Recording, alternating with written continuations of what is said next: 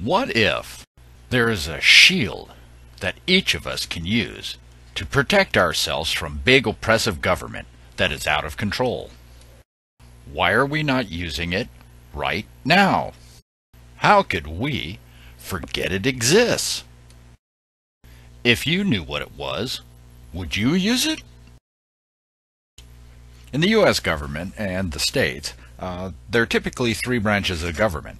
Uh, the the executive, which is the president, judicial, which are the judges and the judicial system, which are the courts, and the legislative, which is the House and the Senate.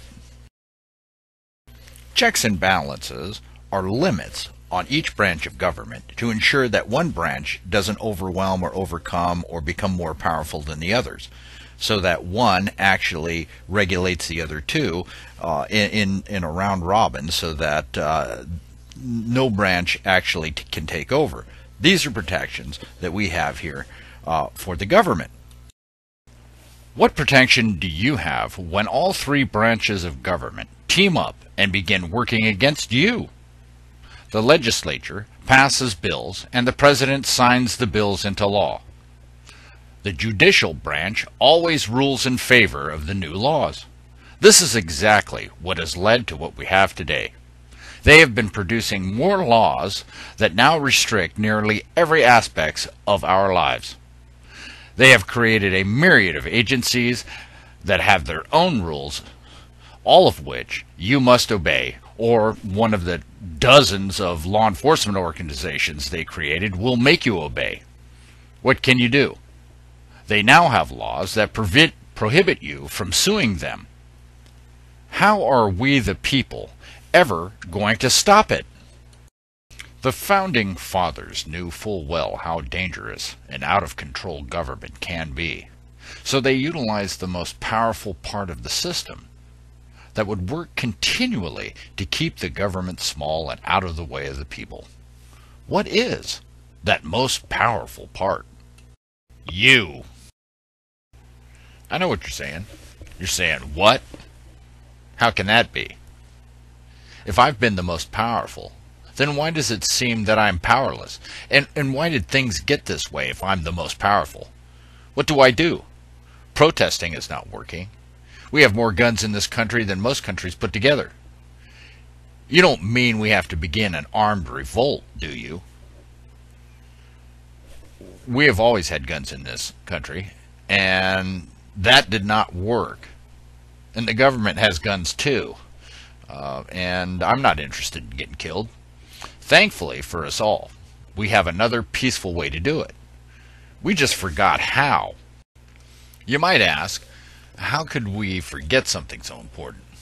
Well, it was in the government's best interest to help it along, and it happened over a long time. The government had a plan and implemented that plan little by little, and eventually there were so few that knew uh, they could do little to stop it. Many who did know weren't teaching and joined the government against the people. After 1861, some folks made some changes that would allow them to slowly make more changes, and that let them get away with even more and more changes. 1913 was when the final keystone was put fully into place. Education. The government took over the schools so they could control what the teachers were teaching the students.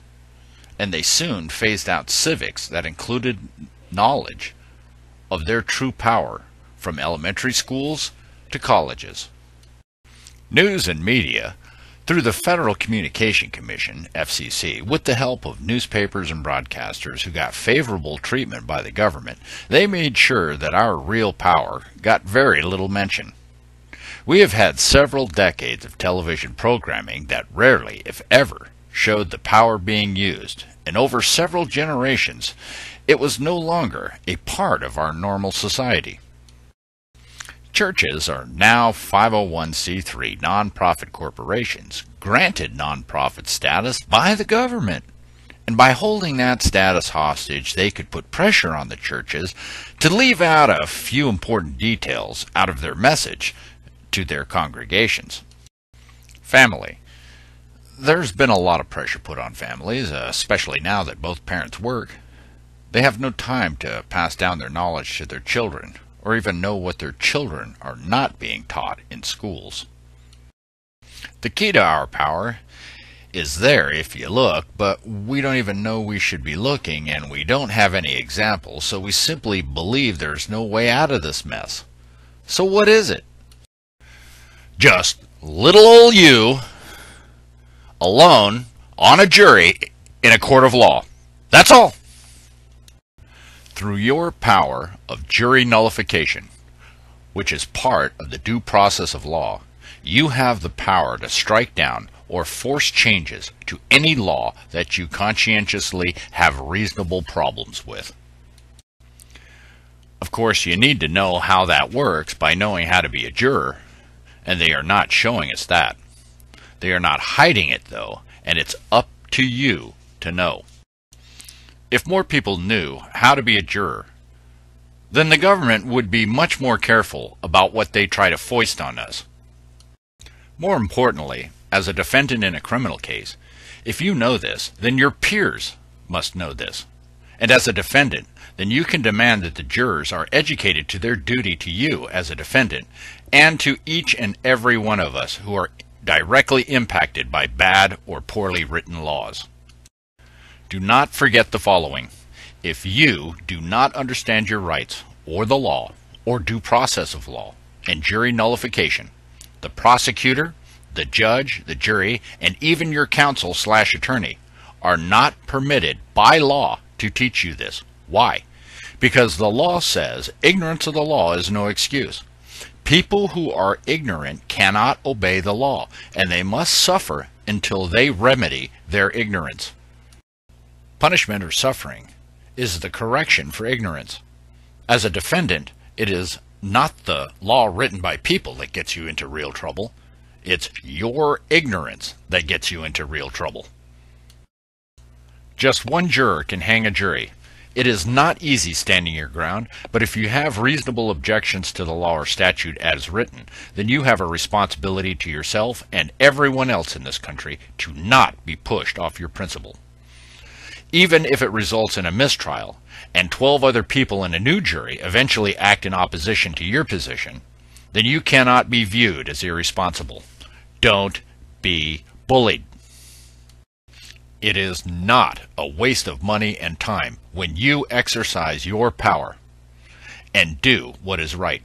This is how bad law is struck down or forces the legislature to rewrite, change, or get rid of bad law or statute. This principle is important to know whether you write the law or are subject to the law. This forgotten shield is what was lost, and things will not change until you change. This video is not here to teach you everything your shield can do. That's your job. This is only an introduction. I suggest a good start is the Citizens Rule Book Jury Handbook. Read it. Know it. It was common knowledge when the United States was born, and mention of it should have been included in the Fifth Amendment to the Constitution we should require that every one of us on this planet know why it is right and just.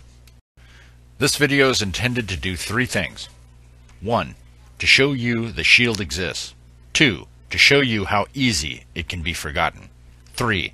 To provide you good reasons why you need to know this as fast as you can.